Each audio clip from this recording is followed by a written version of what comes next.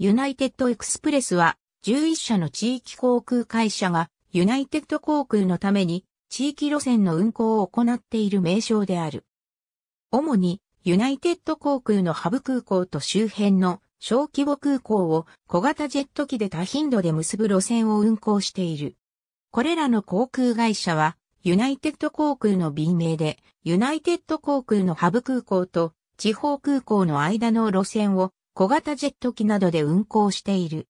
2010年10月1日のユナイテッド航空とコンチネンタル航空の合併により、コンチネンタルコネクションとコンチネンタルエクスプレスのユナイテッドエクスプレスへの統合が進められた。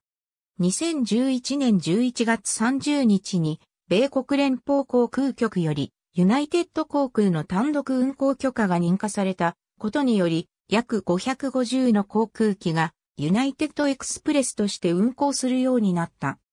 全便がスターアライアンスネットワークに入っているため、スターアライアンスに加盟しているマイレージプログラムの会員は加算条件を満たせば、ユナイテッド航空と同条件でマイルを獲得することができる。ユナイテッドエクスプレスの BAE146-2020 年11月、現在。ありがとうございます。